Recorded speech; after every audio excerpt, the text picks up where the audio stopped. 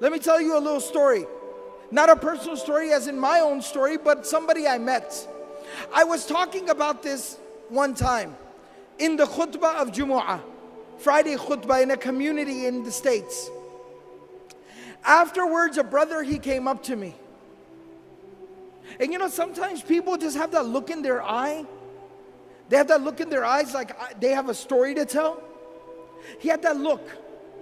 And he walked up to me and he said, Brother, what you just talked about really personally hit home for me. And I talked about the death of Khadija, the death of Abu Talib. Such a serious thing.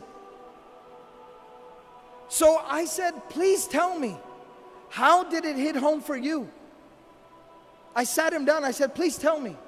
Tell me your story. He said, Brother, today was the first day that I prayed in a year. I grew up in a Muslim home. I was born in a Muslim family. I was very practicing for most of my life, praying five times a day. But today is the first time I have prayed in a year. I said, What happened? He said, About a year ago, my life was picture perfect. You know, sometimes you have like a five year plan or a 10 year plan, your grand plan. And you know, when everything is falling into place, your plan is working out everything is going according to plan. He said, I was in that part of my life. I was nearing the age of 30. I had gone through college and medical school, working two jobs on the side. I had gotten married during that time, found the woman of my dreams, the love of my life. We had two beautiful small babies, children, two small children. I was in my medical residency, working 16 hours a day.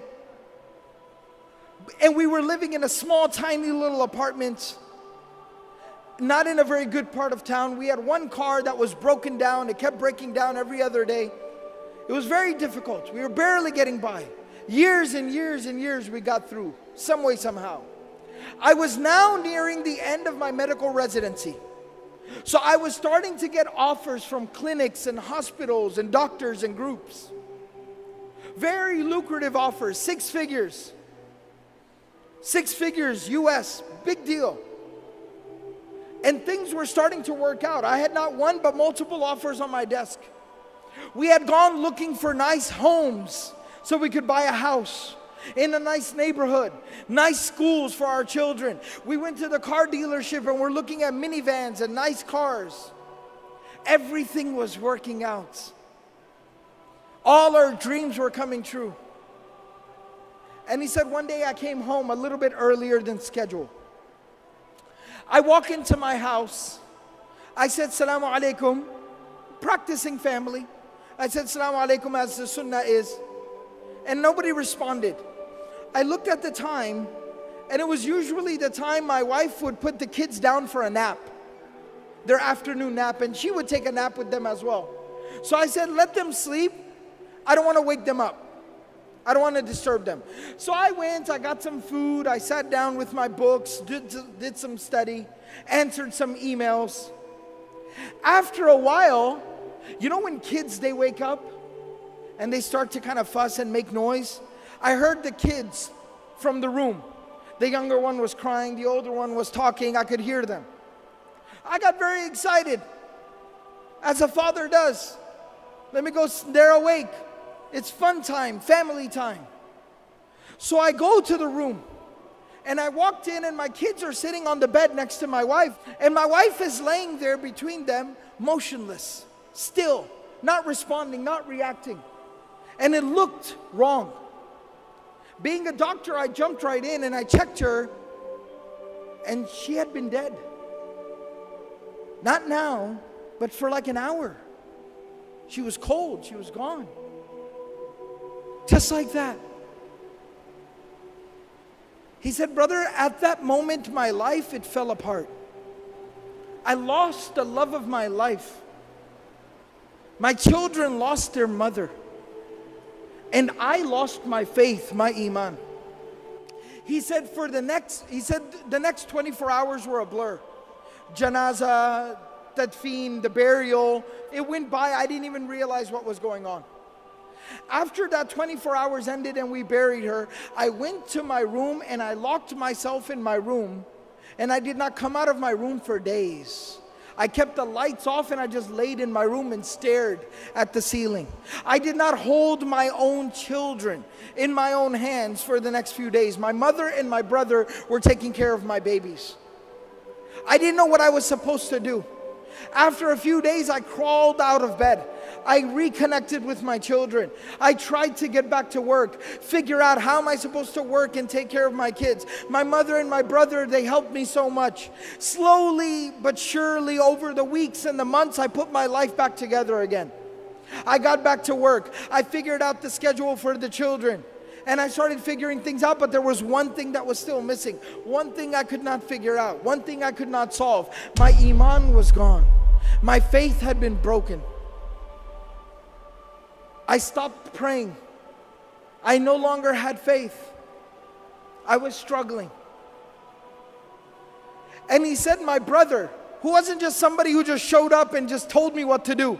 You know, some people, when they give advice, they're never there for you, they never help you, they don't support you, they just show up and tell you what to do.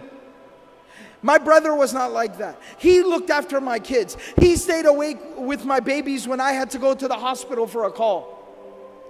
He's somebody who took care of me and my kids. I respect him, I love him. And he's very pious, very righteous. He prays. He kept telling me every single day, Brother, come on, you need to pray. Brother, come on, you need to pray. But I kept resisting and refusing. He said, This morning, today, he showed up at my house and he said, I am not taking no for an answer. Mother will watch the children. You are coming to the masjid with me.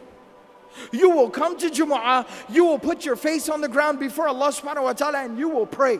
You will make sujood, you will say Allahu Akbar, and that hole in your heart will be filled.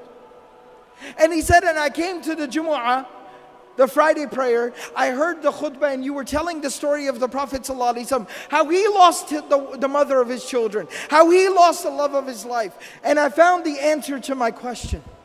It made sense to me again. Think about this after going through so much tragedy, how does somebody continue? How does the Prophet wake up the next day, go out there and preach harder than he did yesterday, work harder than he did ever before, knowing that he's gonna come home to an empty home, knowing that he's gonna come home to an empty bed, knowing that he's gonna come home and have to look his children in the face and wipe the tears from their face that their mother is not coming back? How did he persevere? How did he continue? It was at that moment that Allah subhanahu wa ta'ala provided him a solution.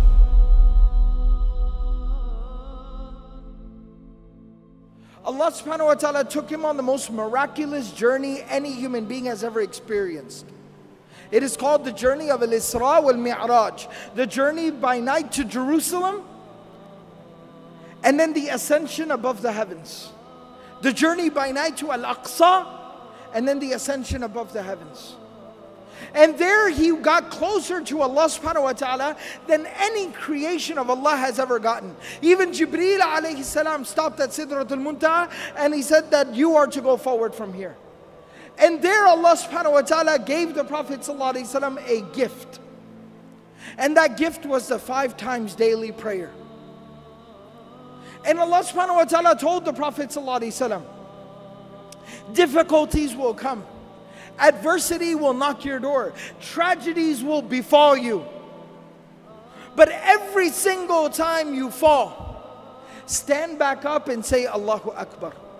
Every single time you deal with a difficulty, say Allahu Akbar. Salah will heal your wounds. It'll solve your problems.